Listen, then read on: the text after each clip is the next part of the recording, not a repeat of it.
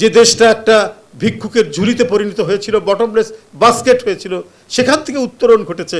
এগুলো হচ্ছে ওরা বলে, ওবায়দুল কাদের সাহেবরা বলেন, এক ধরনের মানসিক অশান্তি থেকে। এক ধরনের অনুশোচনা থেকে তারা এই কথাগুলো বলেন। স্বাধীনতার চেতনা চেতনা বলেন। কিন্তু চেতনাটা কী স্পেসিফিকভাবে বলেন না? স্বাধীনতার যে মূল চেতনাটা যে গণতন্ত্র, যে গণতান্ত্রিক অধিকার পাকিস্তানিরা দিতে চায়নি, এটাই মুক্তিযুদ্ধের টার্ন নিল। কিন্তু এইটা এড়িয়ে যান। কারণ আপনারাও গণতন্ত্র বিরোধী শক্তি, আপনার গণতন্ত্র হত্যাকারী শক্তি। ওবায়দুল কাদের সাহেব আরও বলেছেন, বিএনপির জন্ম নাকি নাকি স্বাধীনতাকে ধ্বংস করার জন্য। আরে তাই যদি হতো, বিএনপি যখন ক্ষমতায় এসে সাতই নভেম্বর থেকেই যদি আমরা ধরি জিয়া রহমান আমল থেকে, তখন থেকেই তো দেশটাকে মনে হয়েছে একটা স্বাধীন সত্তা নিয়ে কাজ করছে। আমরা খাদ্যে স্বয়ংসম্পূর্ণ হয়েছি, নিজেরা খাল কেটেছি। যে দেশটা একটা ভিক্ষুকের ঝুলিতে পরিণত হয়েছিল বটমলেস বাস্কেট হয়েছিল, সেখান থেকে উত্তরণ ঘটেছে। এগুলো হচ্ছে ওরা বলে, ওবায়দুল কাদের সাহেবরা বলেন, এক ধরনের মানসিক অশান্তি থেকে, এক ধরনের অনুশোচনা থেকে তারা এই কথাগুলো বলেন। আমাদের শিক্ষা, সংস্কৃতি, অর্থনীতি সব স্বাবলম্বী হচ্ছিল আর এখন কি? কোথায় স্বাধীনতা? একই দিনে ভারতের বোম্বে যে সিনেমা রিলিজ হয়, ঢাকাতেও রিলিজ হয়। এটা কি স্বাধীনতার নমুনা?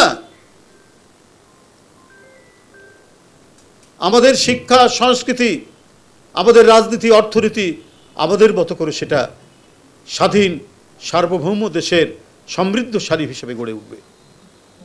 ওবায়দুল কাদের সাহেব, এইটা আপনি স্বাধীনতার কথা বলেন? আপনারা ক্ষমতা আসার পর থেকে মনে হয়েছে যে আমরা বোধহয় একটা পরাধীন দেশে বাস করছি। আমরা একটা মানে পরনির্ভরশীল একটি দেশে আমরা বাস করছি। এক দুই তিন। ঢাকায় জমি জিতে নিন একশো পার্সেন্ট ক্যাশব্যাক সহ বিশ কোটি টাকার পুরস্কার। বন্ধুরা আমার এই কারণে এই এই- এই কারণেই আজকে এই কথাগুলো বলার সুযোগ পাচ্ছেন। ওবেদুল কাদের সাহেব আরও বলেছেন বাঙালি জাতিসত্তাকে যারা অস্বীকার করে বাঙালি সংস্কৃতি এবং মুক্তিযুদ্ধকে অস্বীকার করা? তো বাঙালি সংস্কৃতি ও মুক্তিযুদ্ধকে অস্বীকার করা বাঙালি জাতিসত্তা বলতে আমি কালকেও বলেছি, আপনি কি বোঝায়? বাঙালি জাতিসত্তা বলতে আপনি কি বোঝাচ্ছেন? বাঙালি জাতিসত্তা তো আরও অন্যান্য দেশে আছে। তো বাঙালি জাতিসত্তাকে আপনি সব মিলিয়ে বোঝাচ্ছেন না? আমি তো, আমি এটার কোনো মানে অর্থ খুঁজে পায় না। বাঙালি জাতিসত্তা আরও অন্যান্য দেশে, পার্শ্ববর্তী দেশে, ত্রিপুরায় আছে, পশ্চিমবাংলায় আছে। তারা কি মুক্তিযুদ্ধ করেছে? অস্বীকার করে তারা বাঙালি সংস্কৃতি ও মুক্তিযুদ্ধকে অস্বীকার করা।